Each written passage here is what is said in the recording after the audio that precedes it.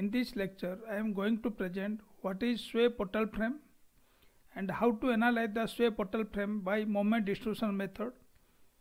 Then I would like to solve one problem on sway portal frame by moment distribution method.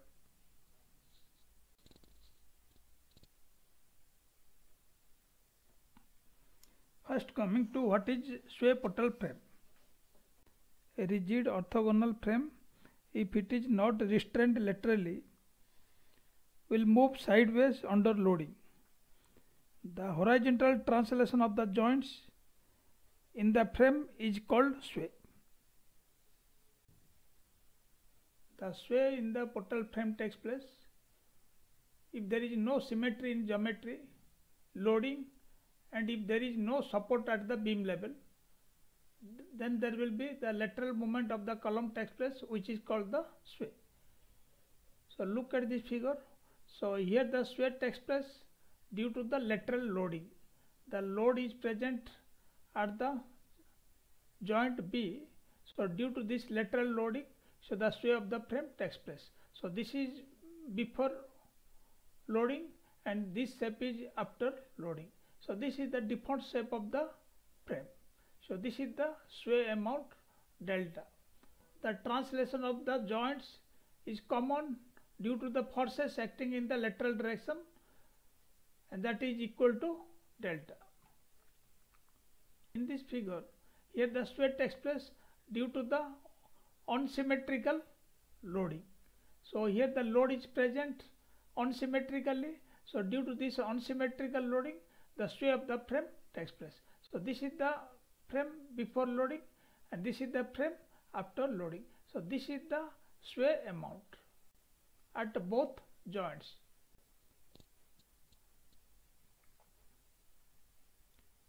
In this figure, so the sway takes place due to the unequal column height. So here this is the frame, here the column heights are different. So due to this different column height, the sway of the frame takes place. So this is before loading and this is after loading. In this figure, the sway of the frame takes place due to the unequal column stiffness. So here this is the frame, the moment of inertia of this column is 2i and the moment of inertia of this column is i and the moment of inertia of this beam is 4i. So due to this different stiffness, so here the sway of the frame takes place. Then coming to what is the analysis of frame with sway.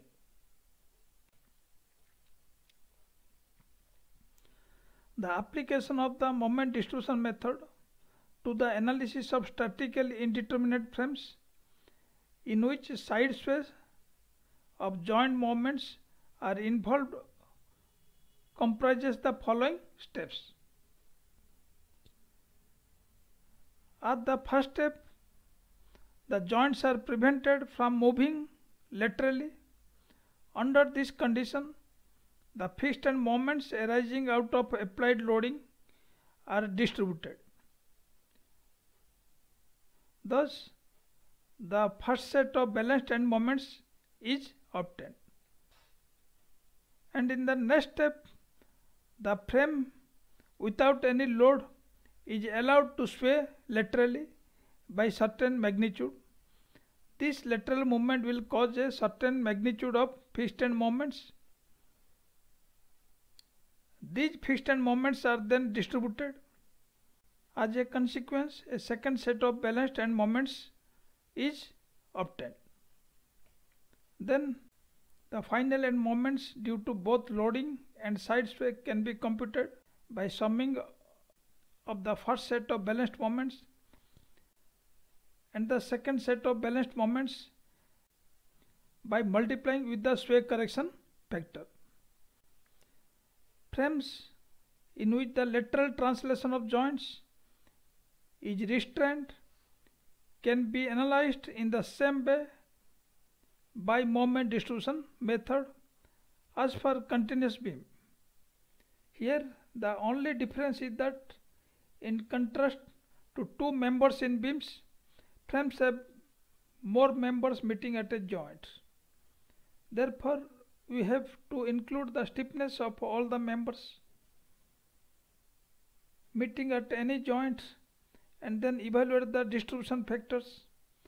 Similarly, the unbalanced moment at any joint is distributed to the ends of the several members meeting at the joint in accordance with the distribution factor.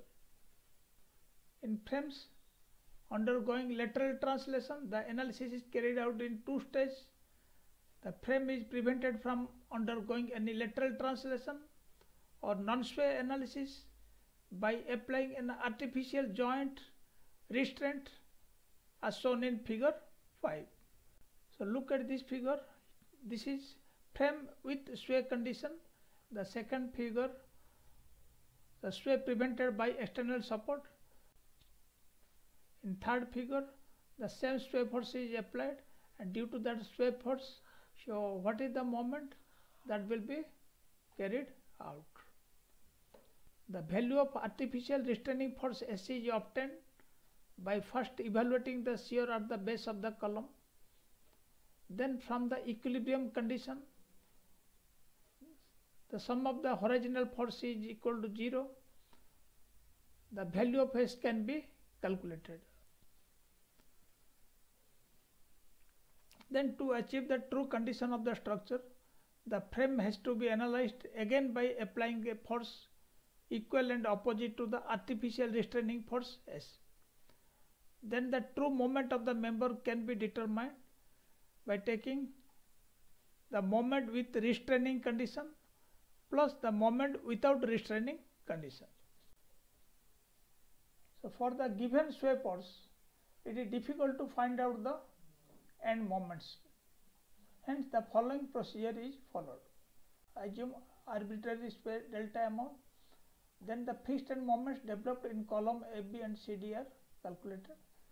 That is m dash FAB is equal to m dash FBA is equal to minus 6 EI1 delta by L1 square and m dash FCD is equal to m dash FDC is equal to minus 6 EI2 delta by L2 square.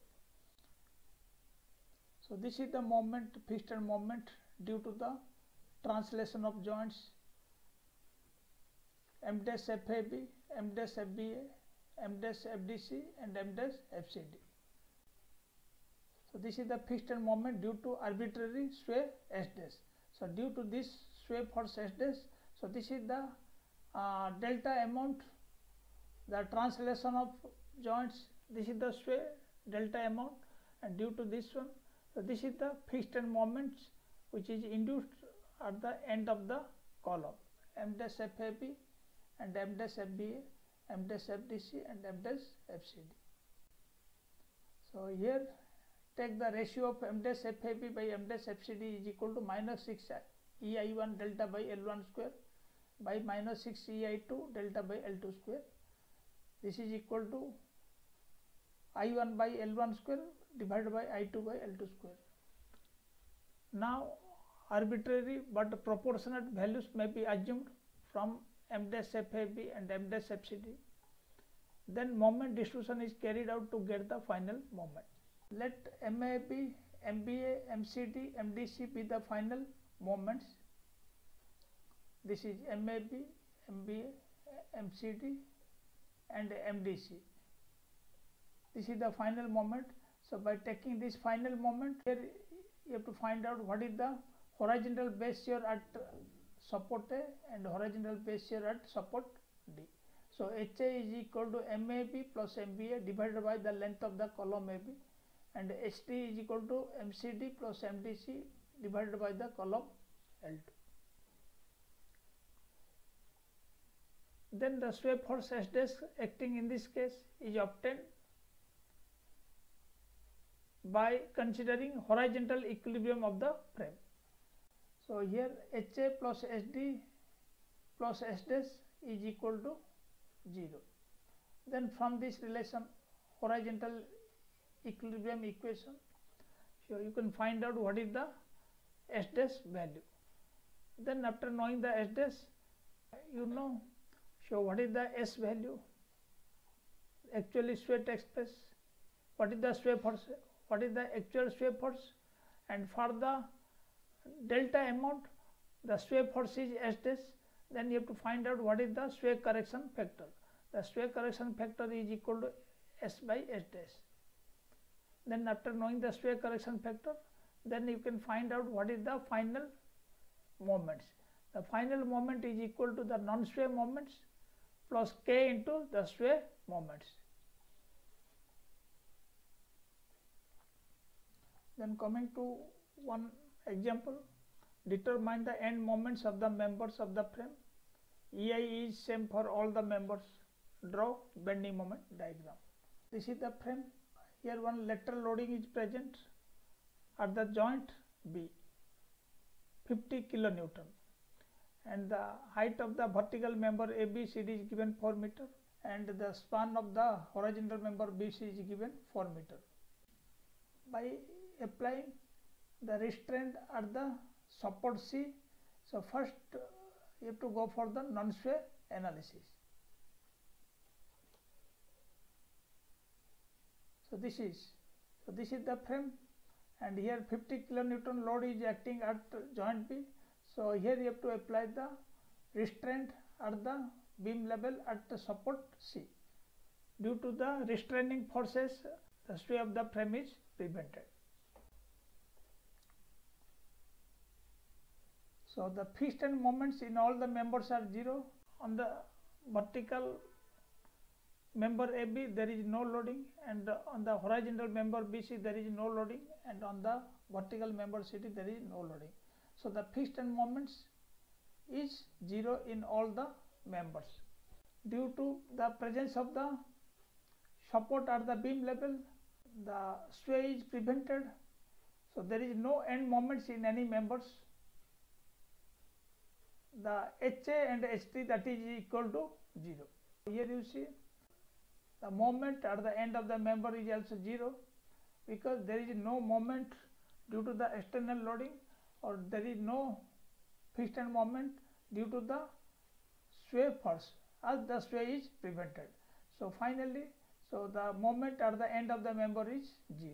If the end of the member is 0, so the horizontal base shear at A is also 0, horizontal base shear at D is also 0.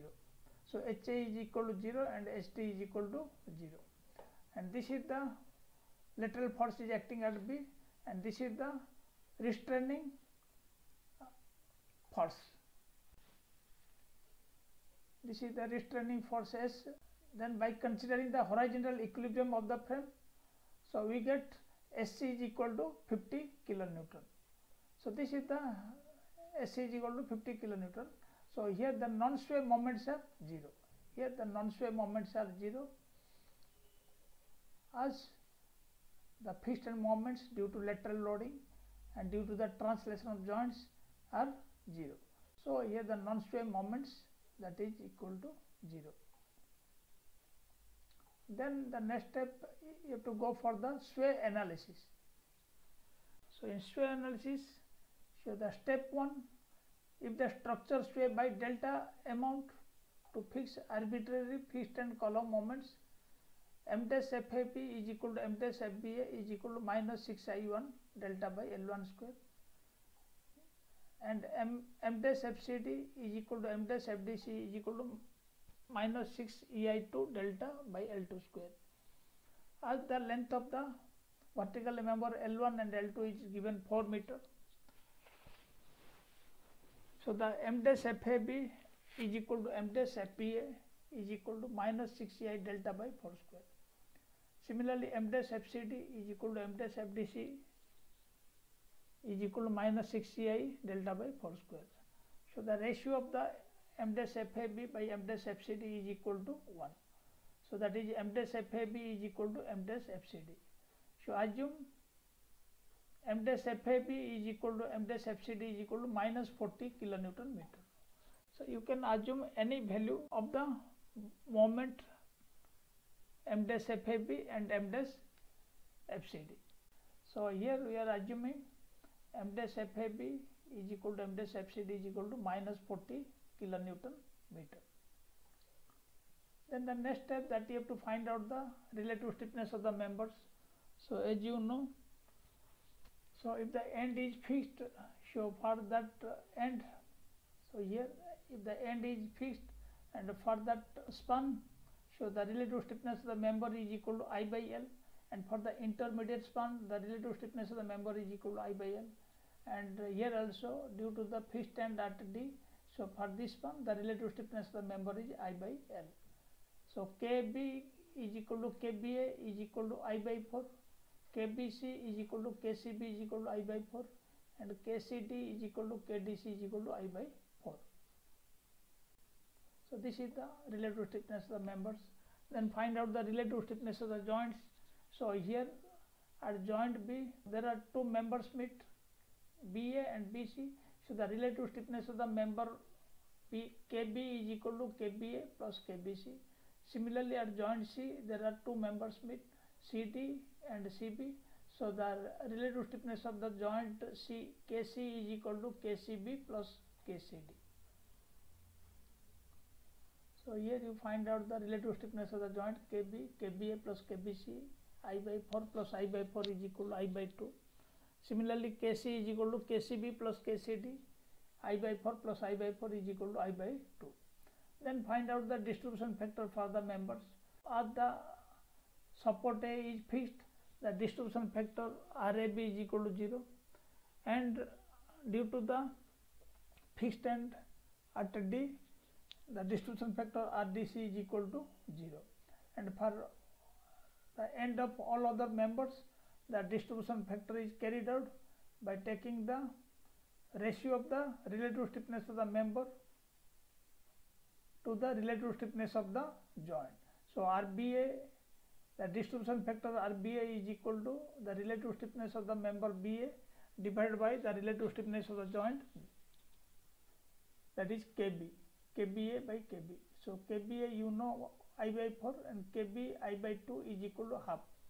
Similarly, the distribution factor for member BC RBC is equal to KBC by KB is equal to half 1 by 2. Then the distribution factor RCB is equal to KCB by KC is equal to 1 by 2. Then the distribution factor RCD is equal to KCD by KC is equal to 1 by 2.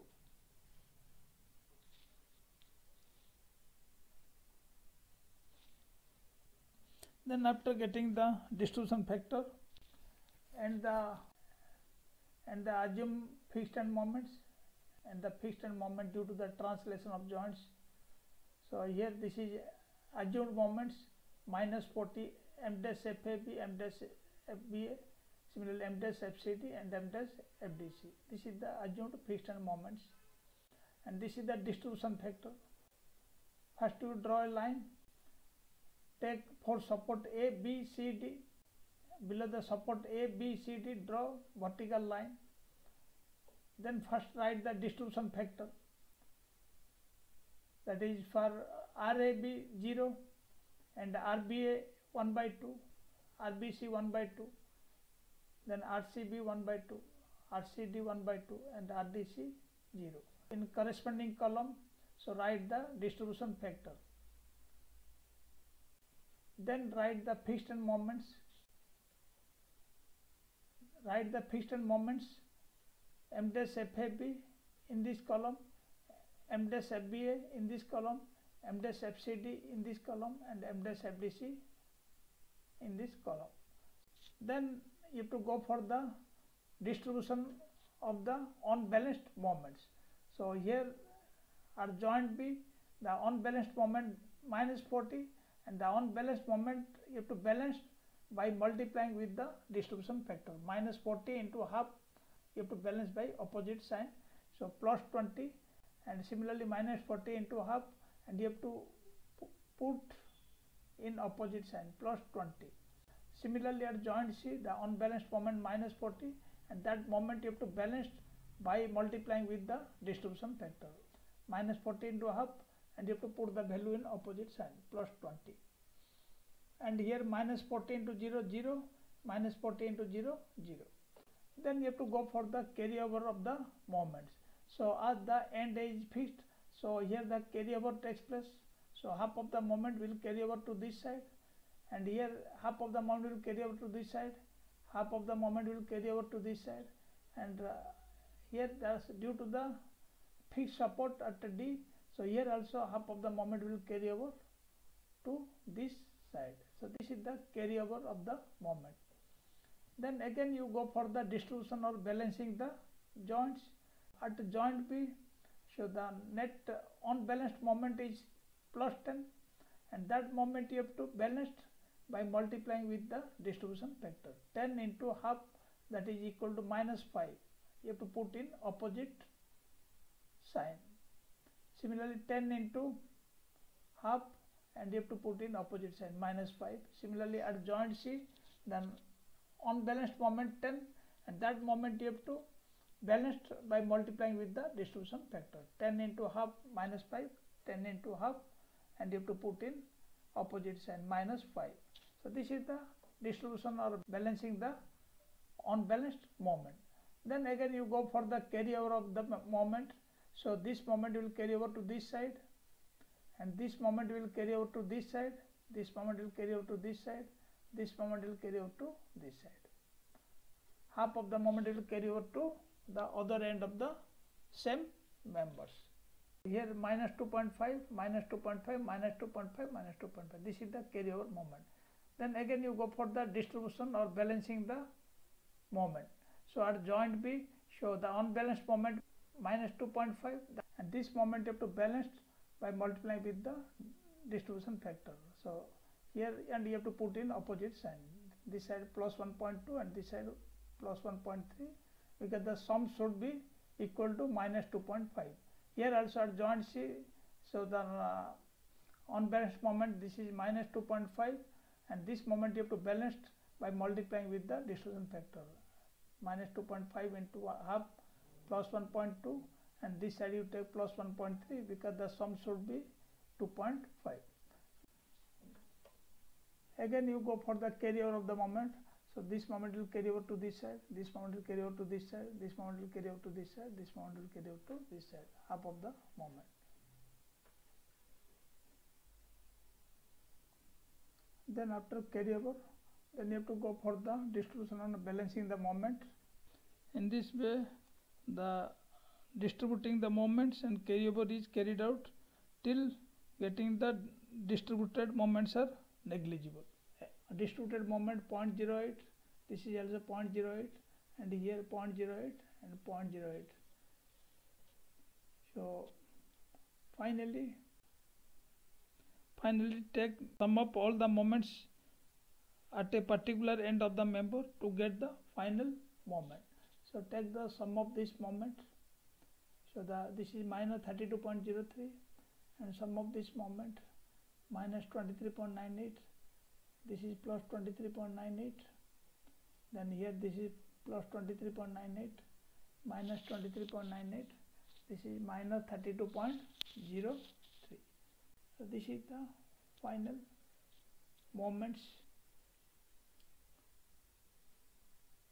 Then apply the direction of the moments in the vertical column m dash ab so here you got m dash ab this is minus 32.03 m dash b at minus 23.98 similarly m dash cd minus 23.98 m dash dc minus 32.03 so just to give the direction of the moment here and write the value 32.03 23.98 32.03 23.98 then for this moment find out what is the horizontal base shear so horizontal base shear at uh, support A and support D that is H1 horizontal base shear at the support A that is H1 and horizontal base shear at support D that is H2 so H1 is equal to m dash AB plus m dash BA divided by 4 so m dash AB and m dash BA put the value of m dash AB and m dash BA in this equation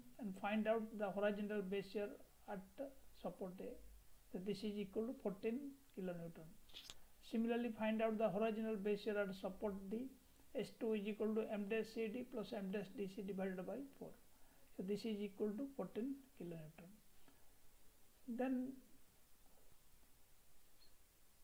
then take the equilibrium equation summation of horizontal force is equal to 0 so here h1 plus h2 is equal to s dash so h1 is equal to 14 kilonewton and h2 is equal to 14 kilonewton s dash is equal to 14 plus 14 this is equal to 28 kilonewton. So this is the s dash value. As you know the s value that is 50 kilonewton. So find out the sway correction factor. That is equal to k is equal to s by s dash. So you know s is equal to 50 kilonewton. S is equal to 50 kilonewton and s dash is equal to uh, s is equal to 28 kilonewton. So find out the sway correction factor. K is equal to s by s dash. 50 by 28 is equal to 1.7857 then find out the final moment. So the final moment is equal to the non-sway moment plus sway moment into the sway correction factor. But in this question the non-sway moments are zero because there was no loading in the vertical member and horizontal member. So the non-sway moments are zero. And here the sway moment that you can find out sway moment into the sway correction factor. So here you multiply this is the moment and this moment you have to multiply with the sway correction factor 1.7857 so finally the moment this is minus 57.20 and here minus 23.98 into the sway correction factor this is equal to minus 42.82 kilonewton meter and here 23.98 into the sway correction factor 1.7857 is equal to plus 42.82 kilonewton meter and here also this is 23.98 into 1.7857 this is also equal to 42.82 kilonewton meter and here minus 23.98 into 1.7857 is equal to minus 42.82 kilonewton meter. And here minus 32.03 into 1.7857 is equal to minus 57.20 kilonewton meter. Then also you can check at joint B or C the sum of the moment is coming 0 or not. So here this is minus 42.82 this side plus 42.82 so this the sum is 0 and here also the sum is 0 so this is the final moment non-sway moment plus sway moment into the sway correction factor so the final moment is MAB is equal to minus 57.20 kilonewton meter MBA minus 42.82 kilonewton meter, MBC plus 42.82 kilonewton meter, MCB plus 42.82 kilonewton meter, MCD minus 42.82 kilonewton meter, MDC minus 57.20 kilonewton meter. Then you have to apply the direction of the moment. So this is the direction of the moment.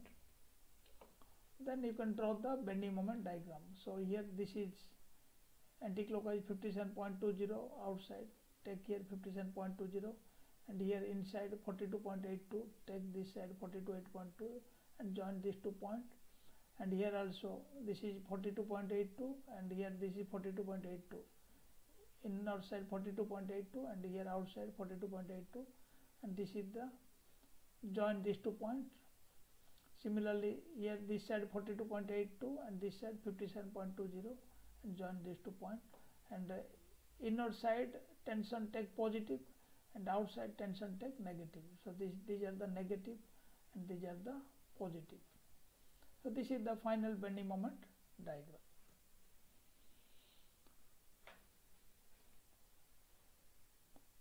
Now all are clear how to solve the sway frame by moment distribution method